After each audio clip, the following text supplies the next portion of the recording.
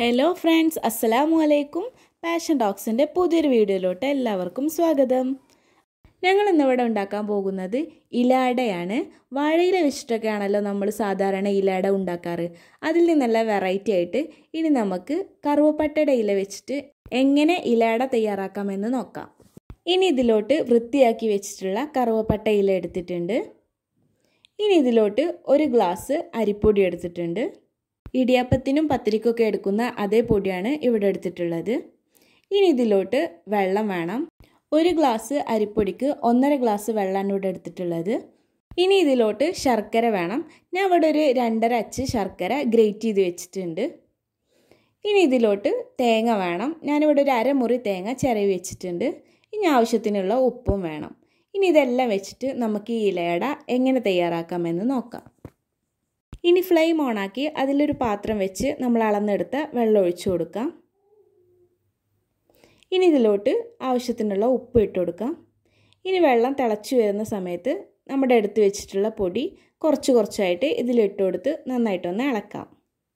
നമ്മുടെ മാവ് ഈ കളറിലിരിക്കുന്നത് പൊടിക്കുന്ന സമയത്ത് കുറച്ച് റാഗി മിക്സ് ആയതുകൊണ്ടാണ്. ഇനി നമുക്കിത് കൗണ്ടർ ടോപ്പിലിട്ടിട്ട് കൈ വെച്ച് നന്നായി കുഴച്ചെടുക്കാം. ഇനി നമുക്കൊരു ഇല എടുക്കാം. ഇനി നമ്മുടെ കൈയൊന്ന് വെള്ളത്തിൽ മുക്കാം. മാവ് നമ്മുടെ കയ്യിൽ ഒട്ടിപ്പിടിക്കാതിരിക്കാനാണ് ഇങ്ങനെ ചെയ്യണത്. ഇനി മാവ് ഇലയിൽ വെച്ച് നന്നായിട്ട് പരത്തിയെടുക്കാം. ഇനി ഇതിലോട്ട് ചിരവി വെച്ച തേങ്ങ ഇട്ട് കൊടുക്കാം. ഇനി നമ്മൾ ക്രഷ് ചെയ്ത് വെച്ചിട്ടുള്ള ശർക്കരയും ഇട്ട് കൊടുക്കാം. ഇനി ഇതൊന്ന് മടക്കി കൊടുക്കാം.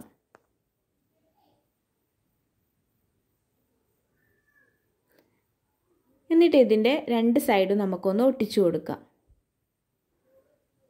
ഇതുപോലെ രണ്ട് സൈഡും ഒട്ടിച്ചു കൊടുക്കാം. എന്നിട്ട് ഇതിന്റെ ഈ ഒരു ഭാഗം ഇങ്ങനെ ആക്കി വെക്കാം.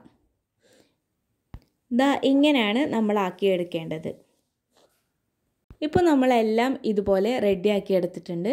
ഇനി ഇത് നമുക്കൊന്ന് സ്റ്റീം ചെയ്യാൻ വെക്കാം. ഞാനിവിടെ സ്റ്റീം ചെയ്യാൻ എടുക്കുന്നത് ഇഡലി സ്റ്റീമറാണ് അപ്പോൾ നമുക്കിനി ഇത് ഇതിലോട്ട് വെച്ച് കൊടുക്കാം. ഇനി ഇത് അടച്ചു വെച്ചതിന് ശേഷം നമുക്കൊരു പതിനഞ്ച് മിനിറ്റ് സ്റ്റീം ചെയ്ത് വെക്കാം. ഇനി നമ്മുടെ അട കുക്കായോ എന്ന് തുറന്നു നോക്കാം. അപ്പം നമ്മുടെ അട നന്നായിട്ട് കുക്കായി വന്നിട്ടുണ്ട്. ഇത് തുറക്കുമ്പോൾ തന്നെ നമുക്ക് ആ ഇലയുടെ നല്ലൊരു മണമൊക്കെ കിട്ടുന്നുണ്ട്.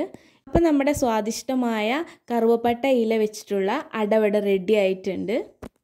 ഇത് നല്ലൊരു ഹെൽത്തി ആയിട്ടുള്ള ഒരു ഡിഷാണ് ഇത് സ്റ്റീം ചെയ്തെടുത്തുകൊണ്ട് തന്നെ ഓയിൽ ഉപയോഗിക്കാത്തവർക്ക് പോലും കഴിക്കാൻ പറ്റിയൊരു ഡിഷാണിത് അപ്പോൾ എല്ലാവരും വീട്ടിൽ ട്രൈ ചെയ്ത് നോക്കുക ഫീഡ്ബാക്ക് കമന്റിൽ അറിയിക്കുക. അപ്പോൾ ഞങ്ങളുടെ വീഡിയോ ഇഷ്ടപ്പെട്ടു കഴിഞ്ഞാൽ ലൈക്ക് ചെയ്യുക ഷെയർ ചെയ്യുക. അപ്പോൾ നമ്മുടെ ചാനൽ ആരെങ്കിലും സബ്സ്ക്രൈബ് ചെയ്യാതെ കാണുന്നുണ്ടെങ്കിൽ പ്ലീസ് ഒന്ന് സബ്സ്ക്രൈബ് ചെയ്യുക. അപ്പോൾ പുതിയൊരു വീഡിയോ ആയിട്ട് വരുന്നത് വരേക്കും. Bye thanks for watching